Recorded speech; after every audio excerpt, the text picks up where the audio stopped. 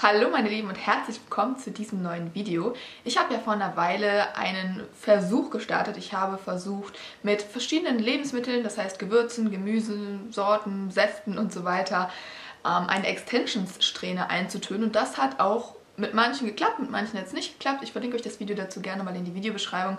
Und viele von euch haben sich gefragt, wie sich das Ganze dann auswäscht. Das ist natürlich auch eine sehr interessante Frage gewesen. Und weil das so viele von euch wissen wollten, gibt es dazu heute mal ein ja, Auswaschvideo und ich werde euch dazu auch noch zeigen, wie sich der Holundersaft bzw. Schwarz-Johannisbeersaft auf meinem Haar verhalten hat, also wie der sich ausgewaschen hat. Dazu legen wir dann auch gleich mal los. Ich muss ja eben meine Fotos raussuchen. Ähm, das mit dem Saft, also das Tönungsvideo dazu kann ich euch auch gerne mal verlinken. Das hat ja auf meinem Haar nicht ganz so gut geklappt. Also da gab es ja verschiedene Komplikationen. Da muss halt immer sehr... Das Problem ist, dass der ja sehr lange einwirken muss und auf so einer Extension-Strähne ist das ja kein Problem. Die lässt man dann einfach über Nacht in so einem Bottich mit dem Saft liegen und auf dem eigenen Haar ist das ja ein kleines bisschen problematischer. Ich fange jetzt mal damit an, wie sich das Ganze auf meinem Haar verhalten hat, aber ich sage euch, auf der Extension-Strähne ist es wesentlich interessanter, denn ähm, auf meinem Haar wurde es ja ohnehin nicht sonderlich äh, kräftig. So, das kann jetzt natürlich auch verschiedene Ursachen haben. Zum einen ist es halt, wie gesagt, schwierig, die so lange einwirken zu lassen. Ich bin mir auch sicher, dass es was mit dem Haarzustand zu tun hat. Bei den Extensions gut kann man jetzt sich nie ganz sicher sein, weil das Problem ist, die sind ja chemisch behandelt. So meine Haare sind blondiert, also zwar auch irgendwie chemisch behandelt, aber das ist halt einfach was anderes. Meine Haare sind halt wesentlich poröser und äh, deshalb würde ich sagen, nehmen die so eine Art Farbe auch nicht sonderlich gut an, beziehungsweise die Farbe hält nicht lange. Also so sah das bei mir jetzt auf den Haaren aus. Und nach einer Haarwäsche sah das bereits so aus. Also es ist relativ schnell rausgefallen. Allerdings nur in den Längen und Spitzen, wo sie halt poröser sind als am Ansatz. Deswegen sage ich halt, ich vermute, dass es daran liegt, dass meine Haare halt relativ porös sind, dadurch, dass sie weiß blondiert sind. Mich würde ja interessieren, wie sich das Ganze verhält, wenn man jetzt zum Beispiel ähm, dunkelblondes Haar von Natur aus hat oder braun oder so, jedenfalls da nicht viel mit gemacht hat. Das Blöde ist, das kann ich ja nicht testen, weil ich es nicht habe. So, das Einzige, was ich noch machen kann, ist Extensions-Strähnen nehmen, aber die sind halt auch nicht naturbelassen. So, und ist halt schwierig für mich dann naturbelassenes Haar aufzutreiben, wisst ihr? Deswegen wäre das halt auch nochmal interessant zu wissen. Jedenfalls, ähm, so wie sie jetzt hier auf dem letzten Foto waren, blieben sie eine ganze Zeit lang. Also es war locker zwei, drei Haarwäschen, dann wurden meine Längen und Spitzen wieder so wie vorher.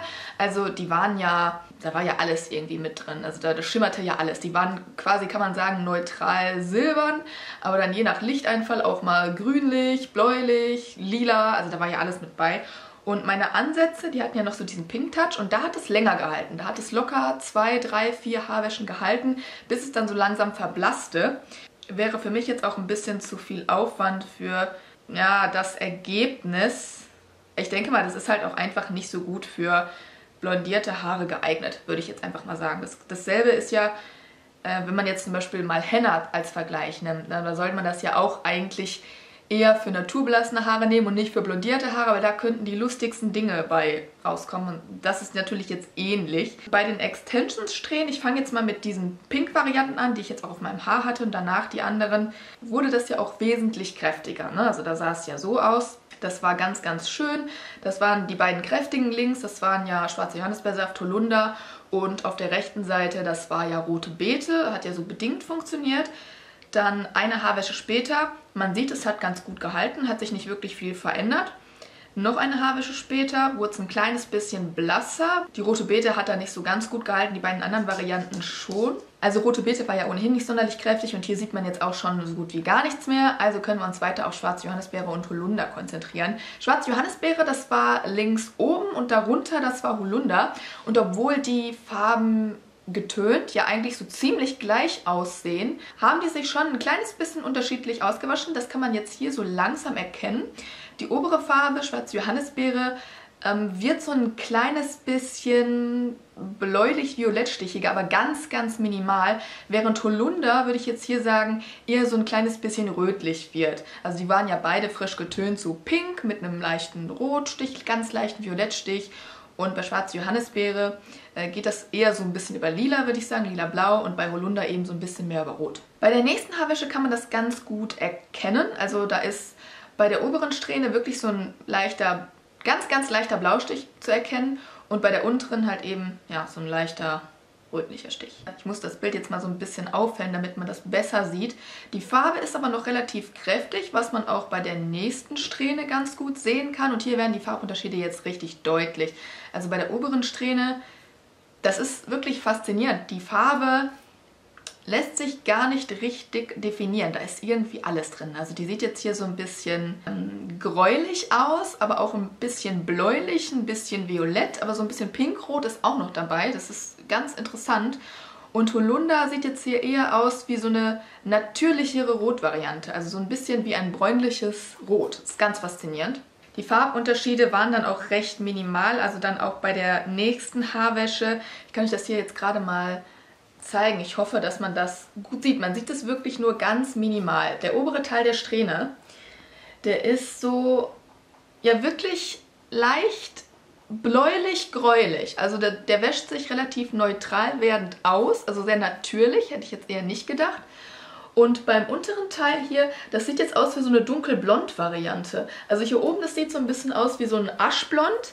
Und das untere sieht eher aus wie ein ich würde schon sagen, fast leicht goldiger Blondton. Also das ist unheimlich interessant. Ich hätte jetzt gedacht, die werden einfach immer heller werden pink oder rötlich und dann war es das, aber nein, die wurden, also der obere wurde grau und der untere, ja gut, der blieb ja schon irgendwie pink, rötlich und dann wurde er etwas natürlicher, aber hätte ich nicht mit gerechnet, ganz ehrlich. Dann hatte ich ja noch eine Strähne, da habe ich hauptsächlich Gewürz verwendet, unter anderem die jetzt hier sehr rausgestochen äh, haben, war ja Kurkuma und Curry. Und dann hatten wir noch eine schwarze Tee-Variante, die ja auch so ja, relativ natürlich ja, kupfernblond wurde, kann man sagen.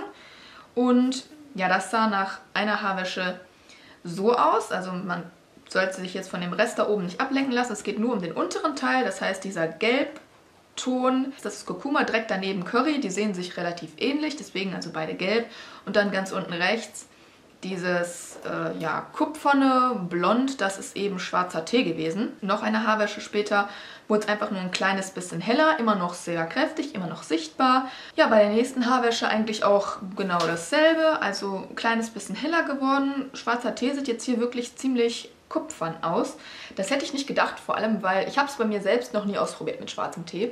Aber im Internet steht ja eher sowas wie es soll einen Braunton ergeben, man soll braune Haare damit auffrischen können, aber jetzt auf meiner Strähne hat sich eindeutig ergeben, dass es ein dunkelblondton mit einem Kupferanteil ist. Also für mich ist das in keinem Fall irgendwie braun, obwohl ich den wirklich sehr, sehr, sehr, sehr, sehr stark zubereitet habe. Ist auf jeden Fall ein interessanter Ton. Ich könnte mir vorstellen, dass man da gerade bei blondem Haar so einen Kupferstich ins Haar bekommen könnte. Ja, warum nicht? Noch eine Haarwäsche später Sieht man jetzt bei Kurkuma und Curry, dass sie relativ hell geworden sind. Man sieht sie zwar immer noch gut, aber haben an Farbe gelassen. Die Leuchtkraft lässt aber eigentlich nicht nach. Sie werden einfach nur ein bisschen heller. Schwarzer Tee immer noch sehr gut zu sehen, auch bei der nächsten Haarwäsche.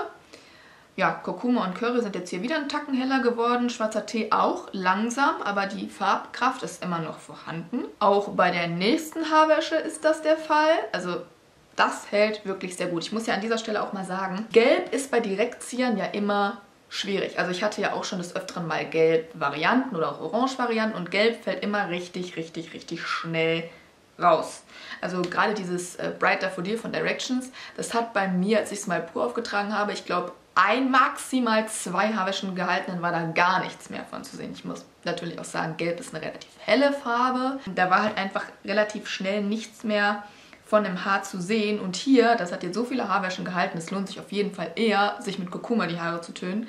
Erstens ist es gesünder fürs Haar, keine Chemikalien, gar nichts. Es ist billiger, als so eine Directions-Dose zu nehmen und es hält auch noch länger. Also es gibt eigentlich nichts, was dagegen spricht. Es sei denn, man hat jetzt vielleicht eine Kurkuma-Allergie, dann wäre das nicht so toll.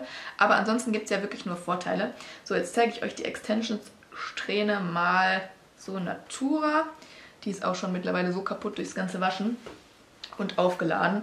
So, den Teil, der ist unwichtig, den packe ich mal gerade weg. Das Ganze sieht jetzt so aus. Also ich finde, äh, so ein leichter Gelbstich ist hier immer noch zu sehen.